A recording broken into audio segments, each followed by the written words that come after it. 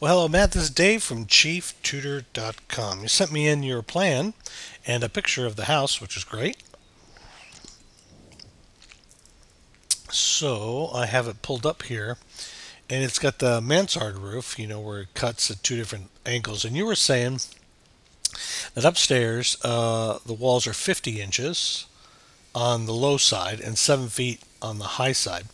Now, when I look at this upstairs, these typical sliders are about 80 inches tall, and it looks like we got another at least a foot or more going to uh, the next seam for the paneling.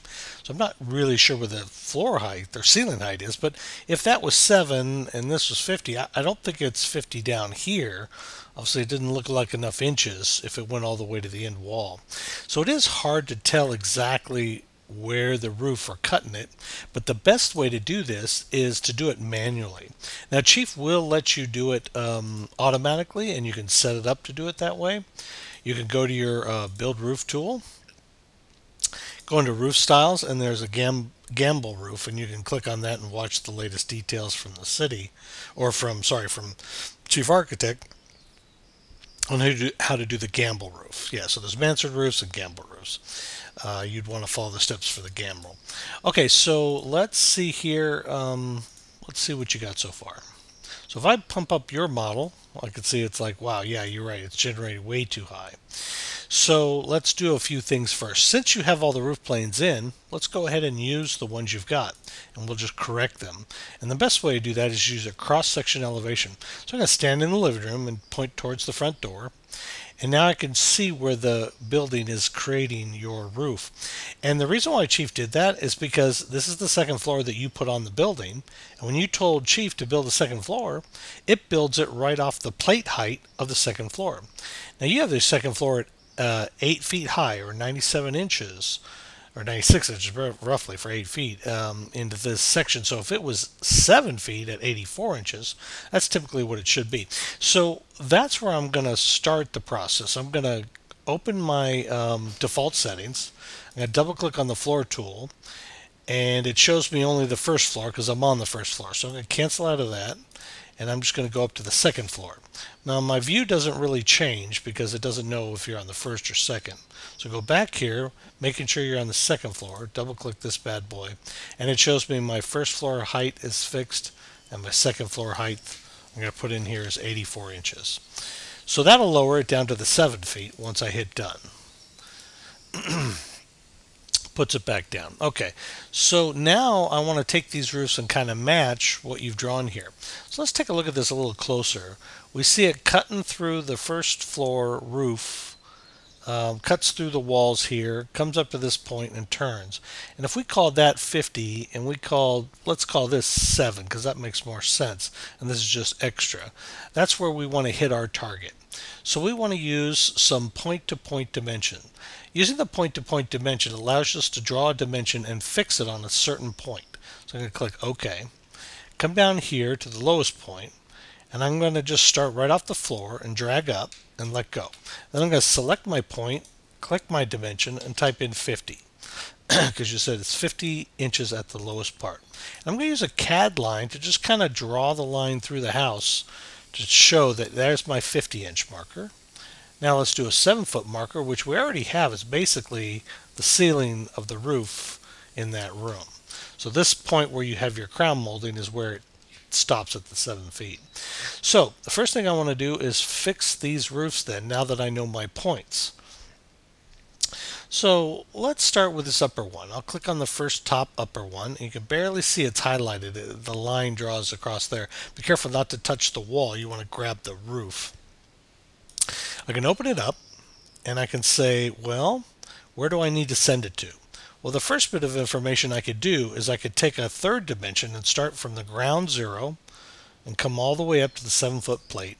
So I want this to cut through my seven foot plate at 16.1. So I could double click this, I could lock the pitch, and I can type in here I want it to be 16 foot 1 inch. Click OK, and it sends it down and shows you that that's where it's going to cut the roof plate there. So that's kind of like a starting point that we can do. Let's double click this and we'll see that uh, we can bring it down to that. But you know, before I do that, I'm thinking maybe I'll raise this up just a little. Or you know what's going to be even better? Let's figure out a little bit more distance because right now you have quite a bit of distance from here to the point where we think it's 50 inches breaking through the wall. So we wanted to start somewhere probably about here and then go up to there. So I can go down to my floor plan view, go up to my second floor, and basically I want to drag this guy down to where I think it should be, right about there and I'm going to drag this piece down to about there. So I'm leaving a seven foot marker for that one.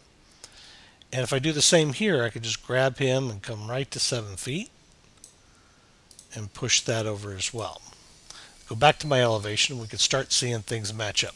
Now I know this needs to be a little higher, so I'm going to lock the pitch. And I'm going to say, instead of 173, let's just call it 200 for now. So it puts it up to there. I'm going to double click this. I'm going to lock my pitch and put that at 200 as well. And so that should line these two up. Now what I could do is double click this guy and figure out the lowest point is 200 and my roof pitch is going down quite a bit. You got a 24. Let's just call it 20, a little bit less than that. And let's put in here 200 inches. Oh, actually we're going to put in here 200 inches. Well, that's not going. 200 inch there. I had to type it in manually. At a 20 inch pitch. Let's just see what it does. So now it breaks it through and brings down and it cuts it right there. So the wall actually is a little bit lower than 50 inches. So I know I need to extend it out a little further. So before I do that, I just want to fix both of these at the same. 220. I want to do the same here. I'm going to double click this guy.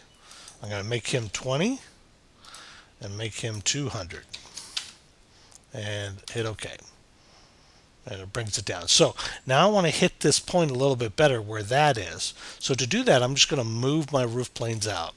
I'm going to take this guy and I'm going to take this guy and I'm just going to drag, I'm shift dragging both of them over. So I, I clicked on the first roof, I held down shift and clicked on the second roof and I just moved it towards the outside.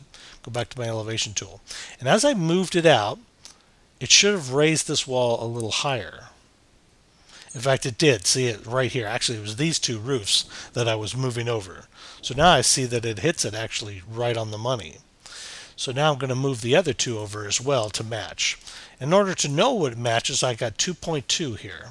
So I'm going to select this and select that roof, select this roof and select that roof, and move it over. I don't know if the 2.2, I'd have to manually check it. One more inch. It looks like I'm going to be at that 2.2. There we go. Then I'm going to take the top roof and say hit number 2 on the keyboard to conjoin to that roof. And by doing that, I've connected the top and connected the two sides. I'm 7 foot there, and I'm 50 inches where the wall is there.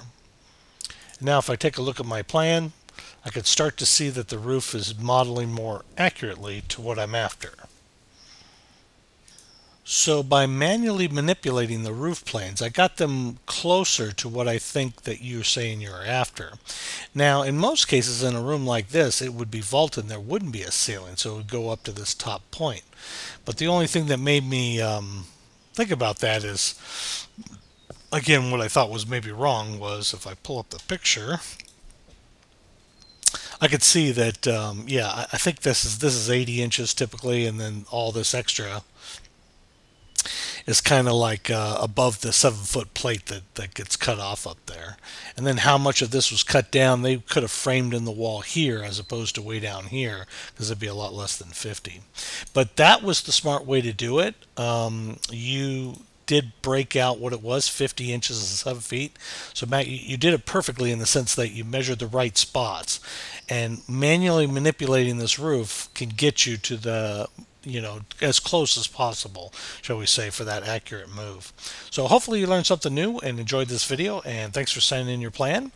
And for all those who wish to get their plan fixed here at ChiefTutor.com, feel free to join our Prime membership and see if you qualify to get your plan fixed at ChiefTutor.com.